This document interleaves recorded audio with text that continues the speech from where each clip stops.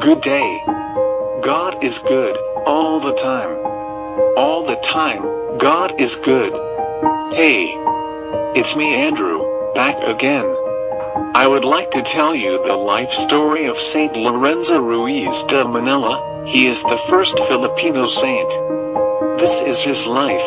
Hope you listen to me. Saint Lorenzo Ruiz, Aka San Lorenzo de Manila September 29, 1600, 1637, is the first Filipino saint protomartyr venerated in the Roman Catholic Church. He was martyred during persecution of Japanese Christians under the Tokugawa shogunate in the 17th century. Born in Binondo, Manila, Lorenzo Ruiz was of mixed Chinese and Filipino descent Chinito. His Chinese father taught him Chinese, and his Filipino mother taught him Tagalog. Both of his parents were Catholic. Ruiz served as an altar boy at the convent of Binondo Church. After being educated by the Dominican friars for a few years, Ruiz earned the title of Escribano stenographer because of his skillful hand and unsurpassed penmanship. He became a member of the Confraternity of the Rosary. In 1636, while working as a clerk at the Binondo Church, Ruiz was falsely accused of killing a Spaniard. Prior to this incident, his life with his Filipino wife, two sons and a daughter was peaceful, religious and full of contentment.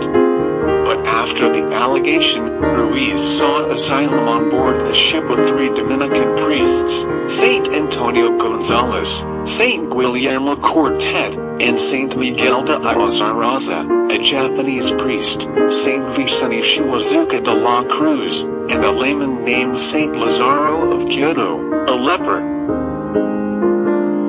Ruiz and his companions left for Japan on June 10, 1636 with the aid of the Dominican Fathers and S.R. Domingo Gonzalez. Landed at Okinawa and the group was arrested and persecuted because of their Christian religion. They were brought to Nagasaki on July 10, 1636. They were tortured through hanging by their feet, by submerging in water until near death, and by water torture. Needles were also inserted under their fingernails and they were beaten until unconscious. These methods made some of Ruiz's companions recant their faith, but Ruiz never did. On September 27, 1637, Ruiz and his companions were taken to the Mountain of Martyrs, where they were hung upside down into a pit known as Horcahuayhuaya. This mode of torture was considered as the most painful way to die at the time because it involved the use of rocks to add weight to the person being punished. The individual being tortured suffocated quickly while being crushed by his own weight. Two days after, Ruiz died from hemorrhage and suffocation.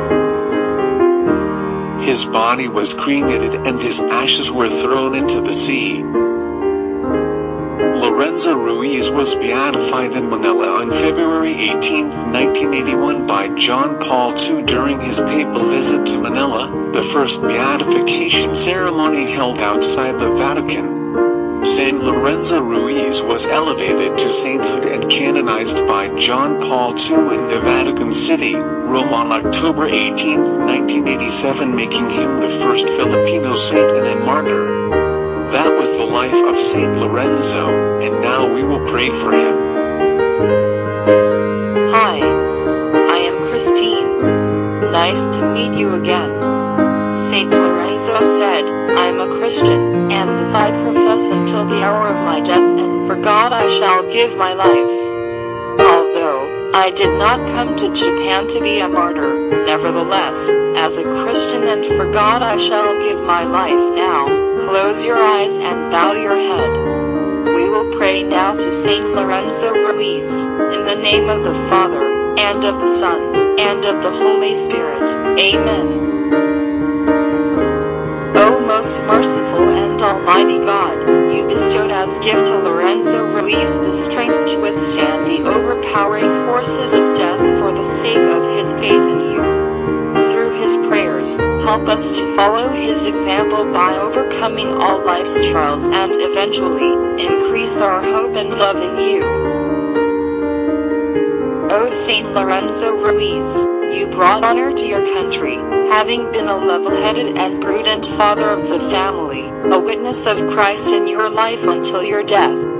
We present all our petitions to God through your help so that by our actions, we may know more and love more Jesus our Lord and Savior.